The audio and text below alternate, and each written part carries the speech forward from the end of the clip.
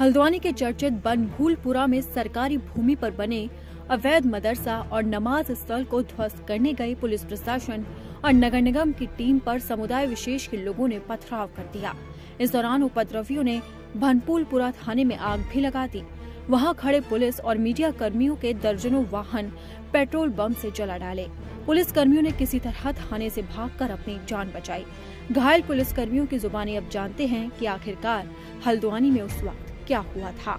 Sir वहाँ पे ऐसा हुआ था चार बजे करीब ना हम पहुँचे वहाँ पे साढ़े तीन बजे करीब हम पहुँचे। पहुँचने के बाद वहाँ पे पत्थर हम थोड़ा बहुत हल्ला हुआ इसके बाद थोड़ा सा आगे को मशीन पड़ी तो पत्थर फेंका वहाँ से। आप क्या काम करते हो क्या? हम निगम में है सर। हाँ जी हाँ। पुलिस कर्मचारी है पूरा सेवा हुआ कर सब कुछ रहता है। वो तो हम गए थे तोड़ने के गाड़ी बुड़ी में आग लगा दी हमारी सारी गाड़ियों में सब। में हम पूरे हमारे सौ हम दो सौ कर्मचारी थे। हमारे कर्मचारी हैं, अभी देखो, बाकी तीन तो हॉस्पिटल में भर्ती है हॉस्पिटल में, बाकी अलग अलग हॉस्पिटल में भर्ती है, इनको पता नहीं है खाली। बाकी सबके सबके लोगों के, मेरे तो यहाँ आई है, मेरे दो, एक पहले यहाँ आई है, और दो हाथ पे पत्थर मारे हैं। बाकी हमारे सारे कर्मचारी का भेजड़ा टूटा हुआ है, किसी के सिर में लगी है, किसी के यहाँ लगी है, किसी के टांग में लगी है, सब जगह लगी है, हर जगह लगी है। आप मेरा विशाल कुमार सर पुलिस कर्मियों ने बताया कि कैसे दंगई वहाँ घुसे और थाने में आग लगा दी।